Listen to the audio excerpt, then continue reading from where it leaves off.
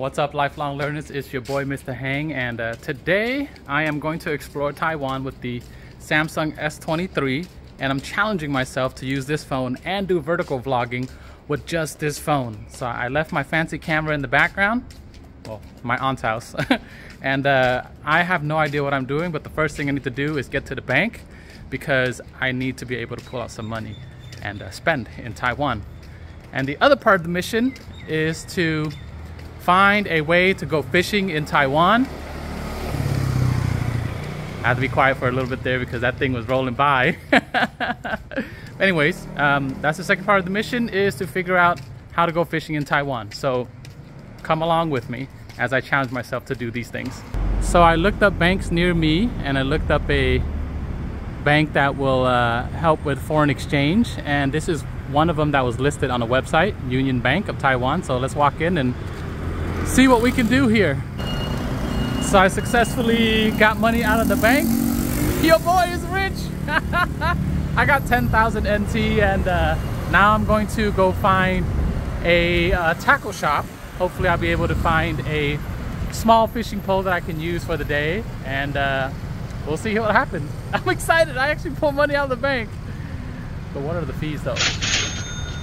Okay, so after 30 minutes of walking, or actually take that back, 45 minutes or so of walking, crossing a very sketchy street slash highway area, and then scouting like maybe a possible fishing location, I finally made it here to the fishing store. I'm gonna walk in now and uh, look at stuff after looking at a few things, uh, I finally found it.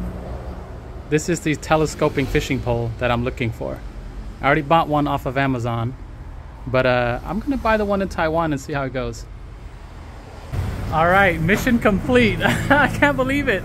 I got the owner, his wife, I met her first. She told me that he would come down and help set me up for fishing at Anping.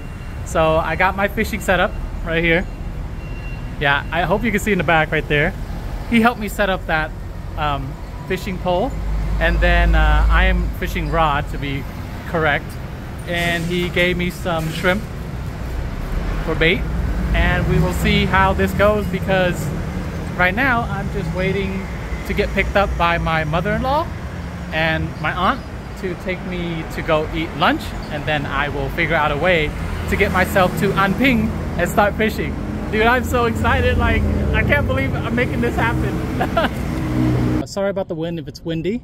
And I'm gonna do my first cast. Pray for me.